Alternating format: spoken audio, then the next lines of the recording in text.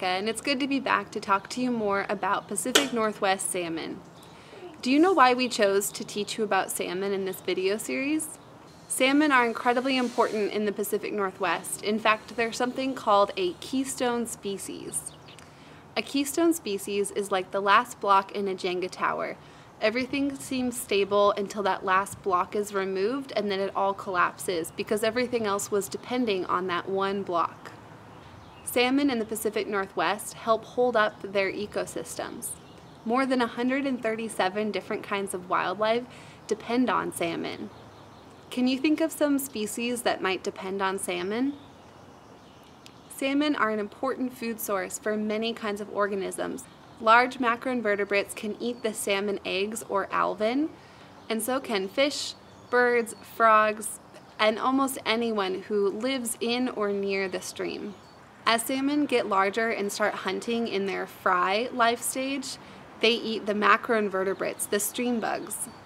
This helps keep the macroinvertebrate populations down so that they don't eat all of the plants, wood, and other decomposing materials in the stream. So, even plants and algae depend on the salmon to help protect them from predators in the stream.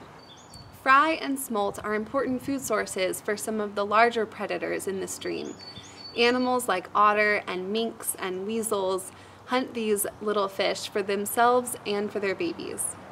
Wading birds like great blue herons and diving birds like cormorants also hunt for the salmon. They use their long, sharp beaks to catch them. Do you remember one of the animals that eat salmon when they're adults in the ocean? Orca whales! Adult salmon play an important role in the complex ocean food web. They help keep the populations of their many prey, including plankton and other fish, in check. And they help sustain the populations of many of their predators. Orcas, seals, sea lions, eagles, sharks, other big fish, these all rely on salmon for their food source, and so do humans. All right, let's talk about the last stage in the salmon life cycle, the spawner. Some of the most dramatic interactions happen in this life stage. By spawning time, salmon can be three to five feet long, and some of the largest Chinook salmon easily top 100 pounds. Spawners are what we all probably imagine when we think about salmon. They change from their silver coloration as adults to something way more vibrant with reds and greens. And the male pink salmon even develop a hump on their back, in all species, the male salmon also develop something called a kype, or a hooked jaw that they use to fight each other over females and nesting grounds. These fish, both male and female, travel up to hundreds of miles from the ocean back upstream to almost exactly the same spot where they were born. And they do this using primarily their sense of smell. Can you imagine trying to find your way home from school using only your sense of smell? A salmon's sense of smell is a thousand times stronger than a dog's sense of smell, and it's a million times stronger than our sense of smell. So they're able to pick up on tiny signals, chemical signals in the water and figure out where to go.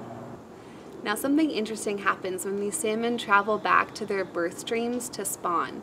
Salmon have something called a semelparous reproductive system. Talk about big words, right?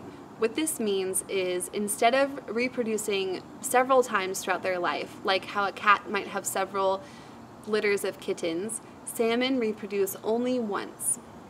And since they only have one shot at reproducing, they put every ounce of energy they have into getting back to their birth stream to produce and fertilize eggs.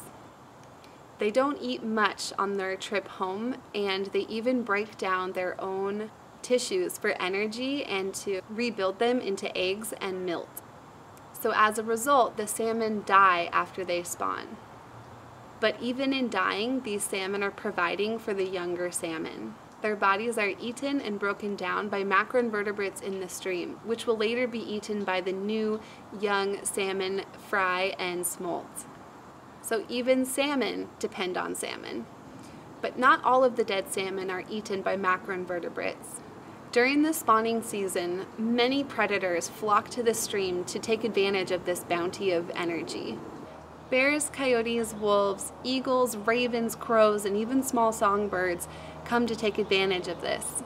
To avoid competitors, large animals like bears and wolves grab some salmon and pull them off into the forest so they can eat away from potential thieves.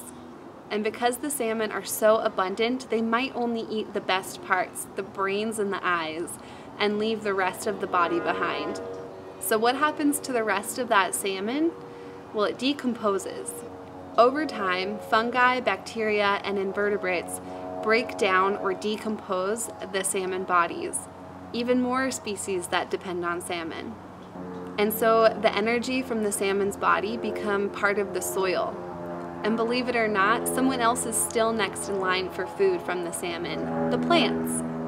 Researchers have found that plants growing near the stream get 25 to 70% of their nutrients from salmon. In one study, scientists found that Sitka spruce trees growing near a salmon stream take only 86 years to grow to be 20 inches thick, while Sitka spruce trees growing not near a salmon stream take 300 years to grow to be that same size. Salmon are connected to many types of, of animals and plants because they're a keystone species. But millions of other connections exist in these ecosystems. Animals eat each other, trees provide shelter, decomposers break down dead animals and plants and make new soil. This week, we're going to draw an ecosystem web that shows many different connections in a healthy Pacific Northwest forest. Here's one that I drew. For each connection, draw a line between the two organisms and label it with a description of the connection. And as always, if you'd like, we'd love to see what you create. So you can email a photo of your ecosystem web to education at mtsgreenway.org and we might share it on our social media.